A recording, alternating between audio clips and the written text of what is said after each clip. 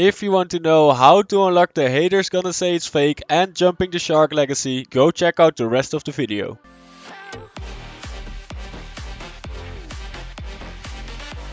Every season there are many different legacy achievements. You can find them under the career tab, but they never show which legacies are in the game or how to complete them. I do know many of these legacies, so if you want to know more about them, click on the link in the description.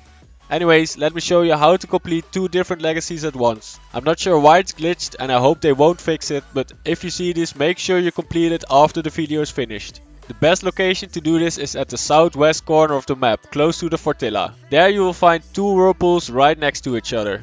I completed it in squads but it can be done in any game type as long as there are loot sharks in it. Close to the location you will find this fishing pole spawn, so grab a pole and make your way to a boat. Use the boat to scan for loot sharks in the area. Most of the time they swim around the named locations like the Fortilla or Rickety Rig. I got lucky since I found one pretty fast. Just use the pole and wait for the shark to pull you in the water. So now you're riding the loot shark, make your way towards the whirlpools. Once you get there, it's time to start counting. You need to jump the shark 77 times to unlock the challenge. Just swim into the whirlpool so you get launched up in the air with the shark.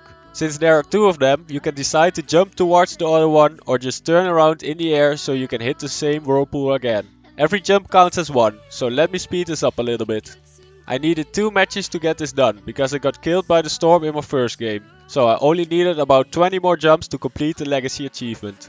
So you might think, what about the other legacy? As I said, it is glitched, since the other legacy is haters gonna say it's fake. To complete it, you need to eliminate an opponent while infected by an impulse grenade launcher. You know, Kit's launcher from Catty Corner? I killed someone with it, but it didn't show up.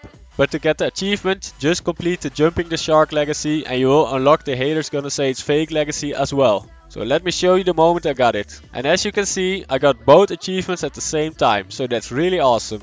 I'm not sure why it's like this, but go ahead and complete it as well. Good luck. Anyways, let's have a look at the career tab and there we can see it. Both legacy achievements unlocked at the same time. And if we go to the punch cards, we can see they are added to the leave your legacy card as well. Only two more to complete it.